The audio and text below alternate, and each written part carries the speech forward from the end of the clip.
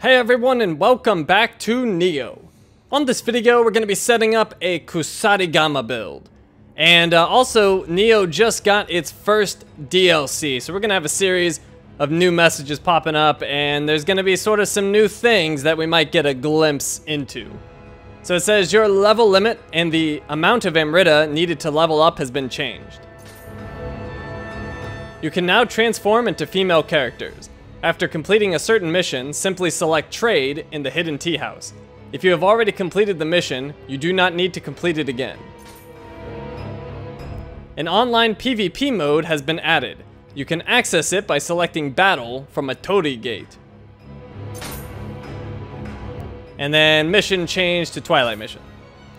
So the new Twilight missions over here, they're not new. Um, just change the uh, rotation like normal. And uh, it looks like they added some new missions because I believe the total Kodama count used to be about 140, 150, and now it's 175. So we got some more Kodama in the game now. But anyways, that's not our main concern here. What we want to do is switch to a Kusarigama build. Uh, let's see, combat titles have been unlocked. You can view them from the titles window. That's also something new. We'll uh, possibly look at that. Uh, but anyways, first thing we want to do, I believe I have a Book of Reincarnation, and I do, so we are going to kill all of my current skills and stats and all that.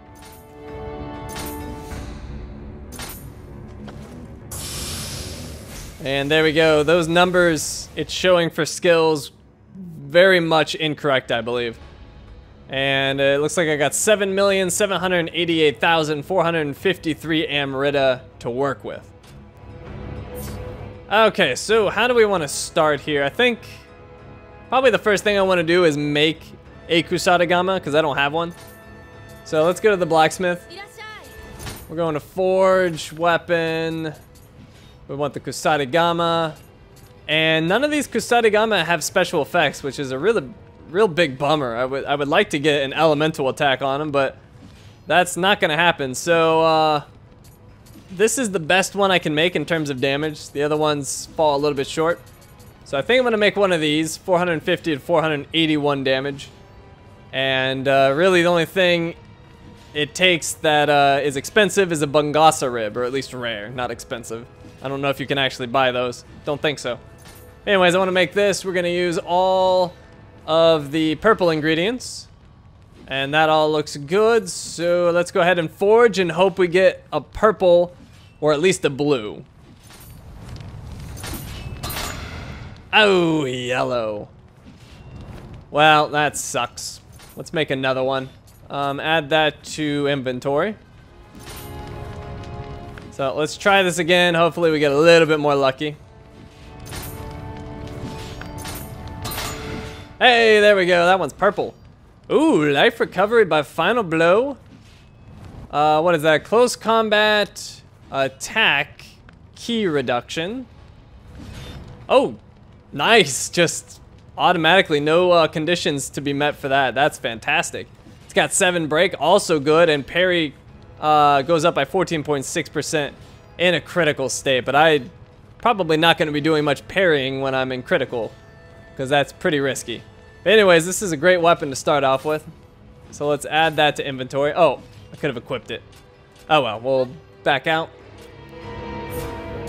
So we will toss that on in place of the dual swords. And actually, I want to put one in the offhand as well, so this will work for that. Um, because I'm going to pick a clan that's going to give me a bonus for having two Kusarigamas. So those are equipped for now. Okay, now I also want to equip all of the um, gear I would ideally want to use. Um, so like I know at least I have that Kingo armor in the bank. So this right here. So uh, let's put that in the item box. And I think that's it. Do I have any weapons I might want? Nope, didn't save any weapons or any Kusarigama. Probably should have, but I didn't. So what we want to do is put that chest piece on even though I'm not going to get any stats from it yet because I don't have enough uh, in body or strength. But it's going on. That actually doesn't look that bad with that look I have. Might just keep it that way. At least for a little bit. Um, alright, so let's see. Let's take a look at what I need for all of this gear. So I need 13 strength, 13 body. And that's really it. Okay, so I just gotta make sure I get 13 strength and 13 body.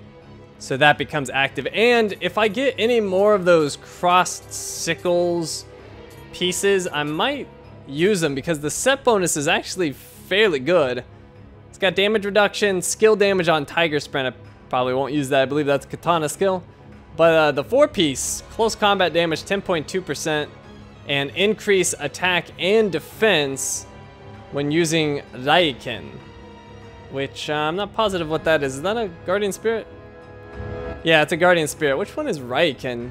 Might not have that. Or maybe that's the little dog. Hmm. Well, if I can get four pieces of this, I might consider using that, because that's a pretty good bonus. And then what's the five piece again? Close combat, attack, enemy electrified. Ooh, 27.5%. Yeah, that's a very tempting set. Oh wait, that's Warrior of the West. What am I looking at? I'm dumb. I was looking at the wrong set. Uh, okay, there we go. The cross sickles. I remembered it being even better, and it is. 15% final blow damage, close combat up 7.1%, and increase attack and defense with Aya Komori, which I believe is that bat guardian spirit, so that's a possibility. But anyways, um, this set probably, although Warrior of the West really isn't bad. If I could get four pieces of that, maybe. It's worth considering. But this is the one I would much prefer, especially that six piece is pretty nice too. Close combat damage up. It's definitely worth considering. But anyways, 13 strength and 13 body. Need to remember that for these skills. So let's put everything up to 10 to start. Because that's a good spot to just have everything at. Dexterity I want up at 20. Magic I want up at 20. And then I'm going to stick with Kato, so that just needs 10 spirit for his passives. So that's a good starting point. Then I need the 13 strength and the 13 body for that chest piece. And let's see, equipment rate or equipment weight rate, not even close to 70%, so that's fine. That's at 53%. Uh, so yeah, I think the rest might just get dumped into dexterity, which determines the effect and capacity of your ninjutsu, but it also increases your Kusarigama's attack, which is the uh, stat that's uh, most useful for that. So I don't know why it doesn't list it there, but that's what it does. So like we can, I can show you that right now. Put a point into that. That Kusanagama gets 62 more attack. Skill 59. Strength does nothing. Stamina does nothing. Heart does nothing. And body would get it up to 59. So anyways, it's all going into dex. And that's 55 points. Jeez. Which is going to give me a ton of ninja skill points and uh, ninjutsu power. So this is going to be a Kusarigama and very heavy ninja build. Uh, so yeah, that looks pretty good to me. I think that's all I need. Uh, yeah, I think we're good. So let's go ahead and level up. So we're back to level 99.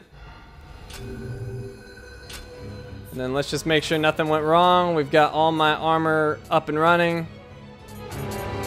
If everything looks good, the Kusarigama's got 614 attack. And for some reason, the yellow one has more. Which is kind of interesting. Probably because the change to attack? Or no? Just has a lower attack multiplier for some reason. But anyways, it's a good starting point. Uh, so, what do we want to do next? Probably spend our skills. And this is where it's going to get a little uh, different. The transition from katana to dual swords was pretty smooth. This is going to be a very different transition. And we've got 115 samurai skill points to work with, so let's see what we can do. Uh, grapple, we want that. We know what that does. Uh, Reaper. This is an interesting attack. Slashes the enemy with the Kusarigama's sickle. Press button repeatedly to vary the technique. Um, looks like it'd do a ton of damage, but I doubt I'm going to get in very many situations where I could actually pull it off. But I need to get it anyway because I want to unlock Blade Spin. So let's grab it. And then we have Summer Twilight, increases your attack, but also the amount of ki damage you receive. Can only be used when your sword is sheathed. So, um, probably won't be using this. I don't want to receive more ki damage, that sounds bad. But once again, I need it because I want Blade Spin. Spins forward with the Kusarigama and slices the enemy. And that is activated by pressing square while guarding. So that one sounds good. We're to get that. And then Autumn Dust decreases the amount of ki used when dodging, but also your defense. Can only be used when your sword is sheathed. I don't want that. Winter Dawn increases the amount of ki damage you inflict, but also the amount of ki used when attacking. Can only be used when your sword is sheathed. I don't want that either. Uh, Whirlwind Kick kicks the enemy. Uh, and that's uh, square while guarding, which I don't want because I got Blade Spin. But we'll take a look at it. So, not interested. Then we have Leaping Strike, slashes upward with the Kusarigama while jumping, and that's uh, triangle while guarding. Doesn't seem like that would be super effective, so I'll probably skip out on that as well. Uh, Flux, we want that, of course, and then Flux 2. Uh, once again, Flash Attack, I never could get that to work. Uh, maybe it's good, but I just could never get it to do it for me, so we're gonna not get that. Uh, Pulse Heaven, high stance only, activates when you recover. Full ki from a ki pulse raises the damage caused by your next attack, of course. We want that. Uh, foot Sweep, this one seems really, really good, and uh, Shima Sakon, I believe, was using it on me, even though he had a spear. Or at least a very similar skill. Uh, this is high stance only, knocks an enemy down by sweeping their legs with the Kusarigama's metal weight. So that looks incredibly useful. So we're going to use that. And that's going to replace one of those other skills I didn't care about. That's fine. Uh, and then we have Armor Piercer. It's a passive, increases damage of final blows by 8%. So we want that. Take another for 4% and another for another 4%. Next we have Living Water Heaven. High stance only enables you to use key pulses even when dodging, of course.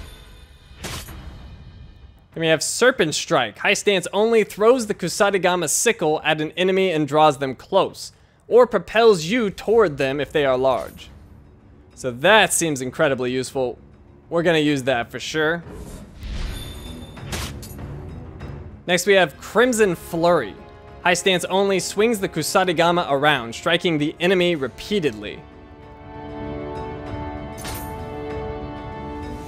So that looks pretty good, but I believe we already have foot sweep for that.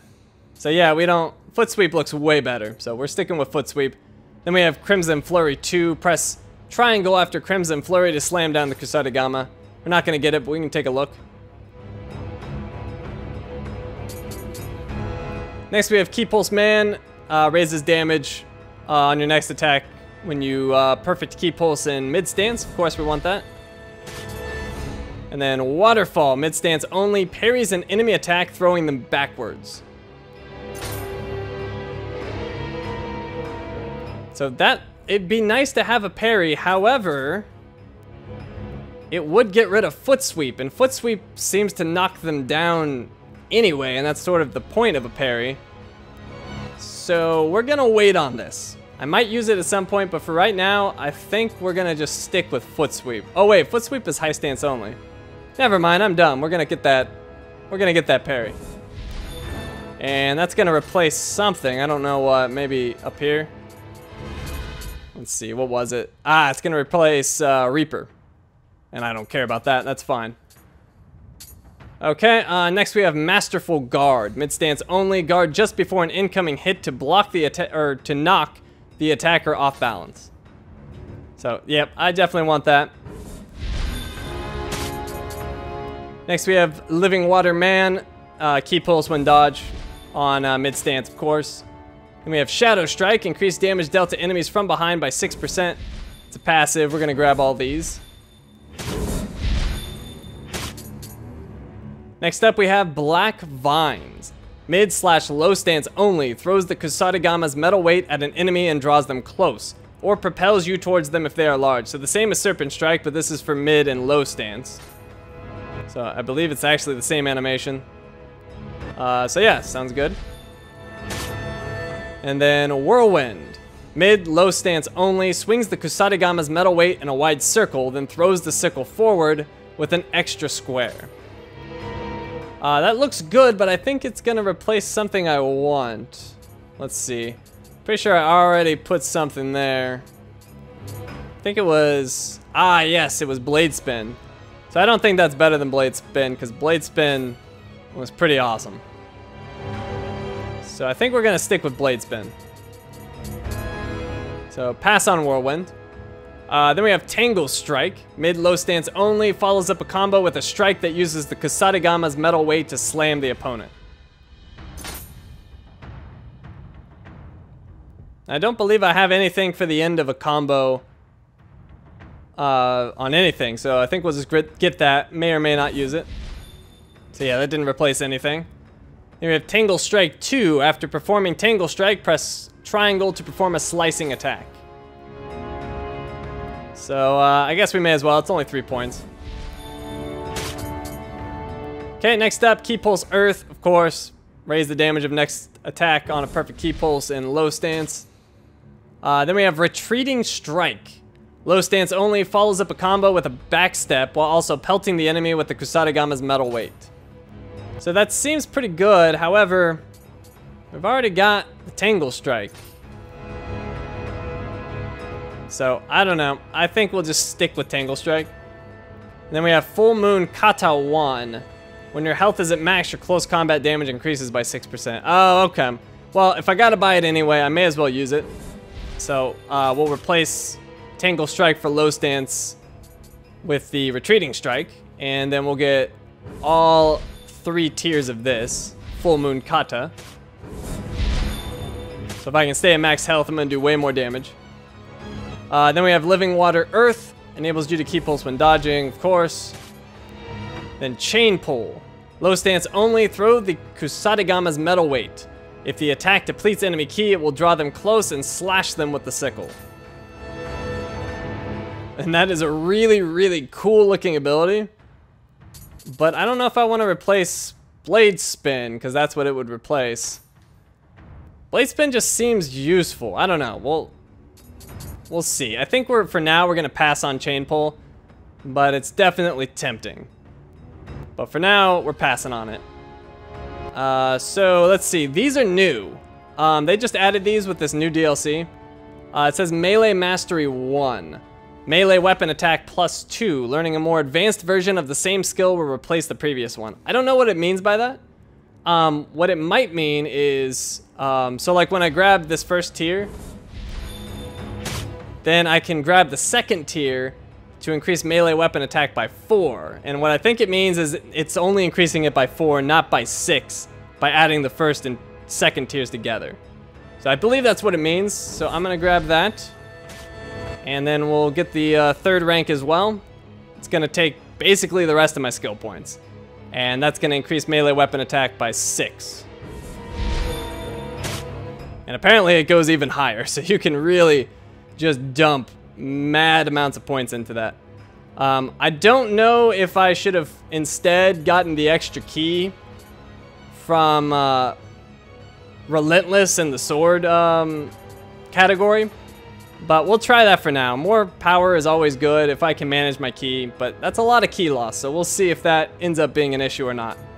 So next we have ninja skill points. Look how many points we have. It's absurd. 191. So um, haven't really done much ninjutsu throughout the whole game, but I think it's time to learn. Um, so we're going to be getting a whole lot of stuff, and we'll see what's good. And I haven't tried this stuff out um, or at least most of it. So I'm, I'm just guessing here. I'm just grabbing what seems interesting. So let's see. We don't want any of that. I do want to get this, the Poison Gauntlet Broth. And that allows you to prepare three doses of Gauntlet Broth, applied to weapons for a poison effect. Now what I'm going to do is get all three tiers of this, and that's going to give me six uses of it. So you can actually use all three tiers together. Um, so I, I wasn't doing that before. Before I was just using two of uh, a certain ability, but I'm going to use six of this. And of course it costs more jutsu, but I think it's worth it. And then what else we want? We want to get this passive, I think. Plus 10 against poison. So we'll get the healing antitoxin pill. I don't think I'll ever use this, but it allows you to prepare three antitoxin pills when taken. They absorb and increase your resistance to poison. So, a little poison resistance, but like I said, I doubt I'll ever use it. But I do want the passives. So we'll take those. Uh, poison sure you can, maybe. We're not going to get it for now, but that one's a possibility. Uh, Hemlock Breath. Uh, apply paralysis or paralytic effect to your weapons. I might get this, but for now I'm going to stick with the poison. Because poison damage seems pretty good. So uh, we'll see how that works out. But possibly paralysis as well. Uh, and then let's see. Medusa powder? I don't remember this. Uh, just paralyzing dust, basically. Uh, I do want to get that paralytic control passive, though. So we'll get the Shikengon pill. It allows you to prepare three Shikengon pills. When taken, they absorb and, and increase your resistance to paralysis. Doubt I'll be using that, but we need it for the passives. Grab all three tiers of that. Paralysis, sure you can, maybe, but probably not. Blinding shells, I think I want to experiment with these. Allows you to ready two blinding shells. They explode when thrown, sending a cloud of particles into the air. Enemies affected by them will be rendered unable to shoot or throw weapons. Reduces the distance at which you can lock onto enemy players. So let's grab all three tiers of the blinding shell. And then Makibishi will pass on that. Makibishi Ball will pass. Ground Fire, will pass on that. Kyakudamas, no. Saboteur, that just increases the amount you can carry, and then that increases the damage of Kyakudamas and Rokudamas. We'll pass on that. Bomb making, we'll pass on that. Improvised projectile, no thank you. I do want to get this one though, Frugality. Enables you to retrieve projectiles that dealt the killing shot to an enemy's weak point. So that means we need to get improvised projectile. Allows you to ready two improvised projectile scrolls. When used, you will get one shot from a ranged weapon, even if you have no ammunition. So I would never use that, but we will use Frugality. Quivermaker, no thanks. I think we're going to use the gun. So we'll get the shot pouch increased all the way. And then we'll also increase the, uh, the gun damage, the matchlock. Round carrier, no. Cannon master, no. Tiger running. This one's a little tempting, but I think I'll pass on it. But I do want the dashing passive. So we'll get Tiger running, which uh, when used increases your run and dash speeds. So we'll pick that up. And we'll get dashing one, two, and three. Then we'll also get Cloud Runner, which is going to increase our running speed. Not sure how useful that's going to be, but could be fun at least. Uh, smoke ball, no thank you. Quick change, of course. So we gotta get the smoke ball. Uh, when used, they create a smoke screen that makes it hard for enemies within the smoke to see you. Renders enemy players unable to lock onto you when you are in a smoke screen. So we'll grab uh, that quick change, of course. And then dodging passives, of course, reduces ki used in an evasive roll. We're gonna grab all three of those. We could get more quick change scrolls, uh, we'll see how many points I have left over. Um, because I it might be useful to have two. I usually only use them on bosses, but maybe uh, I could grab another. We'll see. Uh, sneak attack. Uh, yes, probably. Um, at least in my katana builds and the dual sword, the sneak attack kind of became useless because it was better to lead with other abilities. But I'm not sure with the Kusarigama. It's only one point, so we should probably get it. Uh, catwalking, no. Suppa, no. Kodama transformation, no. That, that one's funny, though. Uh, Holy Man to increase our sacred water count. I don't actually want that, but I do want to carry more elixirs, so we'll grab all three of those. Uh, power pills. I think we're actually going to carry six of these now. So let's get all three ranks of it. We have Snake Bite technique. This will be good with my Gauntlet Broth. Increases recurrent damage dealt by 10%. So we'll get all three of those, which will raise it by 20%. And then Endurance 1, we'll probably get this as well. Reduces continuous damage from poison and fire by 6%. So let's grab, uh, yeah, let's go all three on those. Although we're getting a little low on points. So we need to be a little careful. Uh, composure, don't need that. Hand of Death, no. And actually, that's it. So uh, I might get the second quick change scroll. But before I do that, let me make sure I've got enough ninjutsu to actually ready all that stuff. So let's go back to the shrine. Ready jutsu. And okay, so we want to ready all three Gauntlet broths. We'll replace the fire amulet. And then we want to ready all three power pills. And that already has a slot, so those six go in. Blinding shells, all three of those. We'll put that here, I suppose. And I think that's it. Quick change just needs to be readied. So there it goes, it's ready. And that was actually perfect. It used all my jutsu. So, perfect. Um, however, if I want to use another quick change, I'll need to get more jutsu and then put the quick change in. But we'll see on that. Uh, for now, let's use my Onmyo skill points. So, of course, we want Sloth. We're to grab that. I think we'll just stick with the two.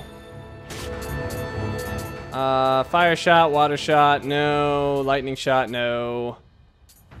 Possibly lightning talismans. But let's see how many points. Well, it's only one point. Let's get it, just in case.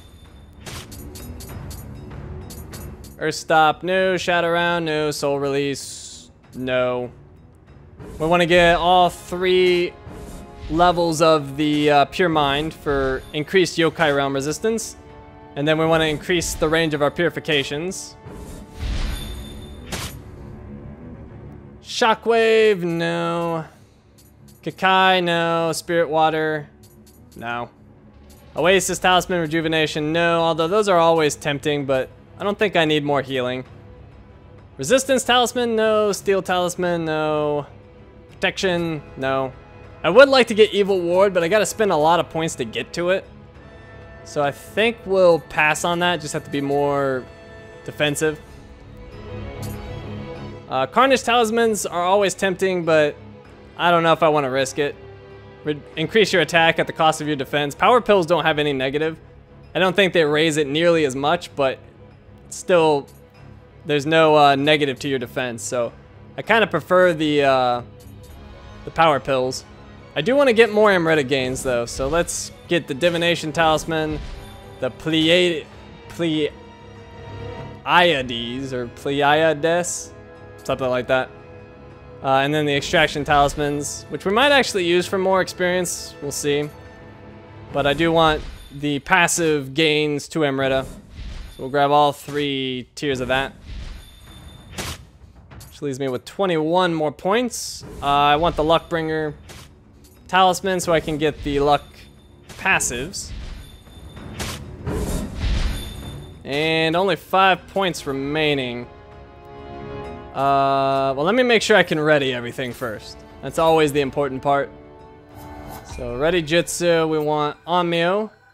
Looks like I got 20, that should be plenty. So, ready Sloth. Oh, I don't have a spot for Sloth anymore. Um, well, we can just, uh, guess we could put elixirs on the back bar. Or maybe we can put sloth on the back bar. Actually, let's just put sloth on the back bar. Can go, uh, in place of the sacred water. Because I don't use sloth that much. And I think that's the only one I want from Onmyo. Yeah, I think that's it. Okay. So I don't need any more uh, capacity. So that means I can just use these points. I think I'll just get uh, the Guardian Spirit Talisman so I can unlock extended living weapon use time. And we'll get, well, I guess just one rank of that. And uh, I think that's gonna do it. Keep those other two points for something. We'll see.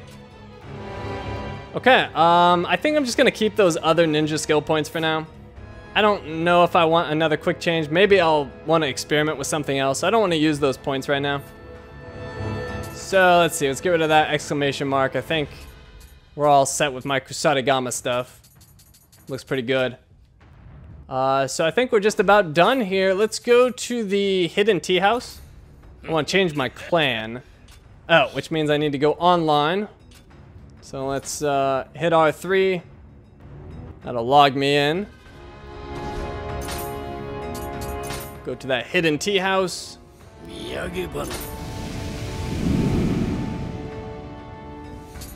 And the one I want, big surprise, it's the uh, sickle graphic, or perhaps that's a Kusarigama, but it looks like two sickles. It's Kobayakawa. So it increases your ki if you have a Kusarigama, uh, and it increases it further if you have two, which is what I did. And it also increases attack from behind by 8%. So let's go ahead and switch to Kobayakawa.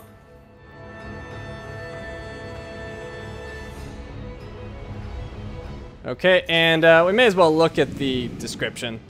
I didn't look at all of them because there's just so much, but if we're going to use the clan, we may as well know about it. The Kobayakawa clan were originally from Aki province, today's Hiroshima prefecture, but later claimed Nashima in Chikuzen, Fukuoka, as their domain. Famous clan leaders include Takakage and Hideaki. Kobayakawa Takakage was the third son of Mori Motonari, but joined the Kobayakawa clan and eventually rose to lead it, later swearing fealty to Toyotomi Hideyoshi. He adopted Hideaki, a relative of Hideyoshi's, as his son, and in due course Hideaki succeeded as head of the clan. Hideaki was despised by Hideyoshi, and due to his repeated strategic errors, was ordered to give up the clan's traditional holdings. After Hideyoshi's death, however, Hideaki recovered the clan domain in Nashima with the help of Tokugawa Ieyasu. It is said that the debt he felt he owed to Ieyasu was the reason for his later abandonment of the Toyotomi clan. The Kobayakawa battle flag, Chigai Gama, was a pair of cross sickles, said to be a reference to Suwa Shrine, where a sickle was revered as the sacred vessel of the deity. The imagery was reportedly used to pray for both a bountiful harvest and victory in battle.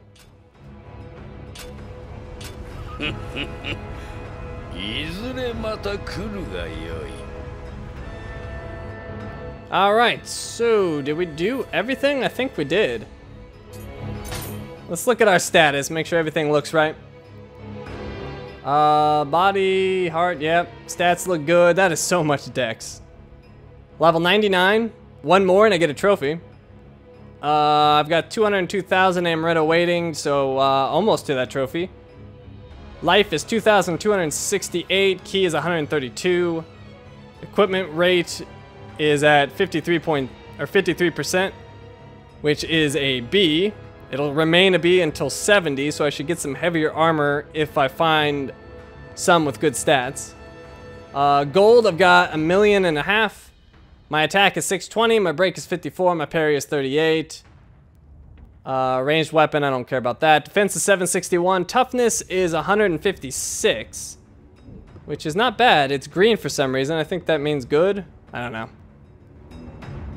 And then I also have passive uh, elemental resist now, which is also very nice because of those uh, ninja passives I picked up. And my Verse Yokai realm is 617. And of course I have no Kusarigama proficiency. And those are all the special effects I'm getting. I don't think I've shown this before, but it lists everything you've got. There's a whole lot going on there. Look at that, luck plus 71. And Amrita earned is up 14.2%. That's nice. Using Kato, uh, they've added battle information for 1v1 and 2v2 fighting. And you have a uh, rating, apparently. And alright, so I think we're all set. And on the next video, we'll be taking this build out for a spin. Hopefully it works out well for us. So, thank you for watching, and I will see you next time.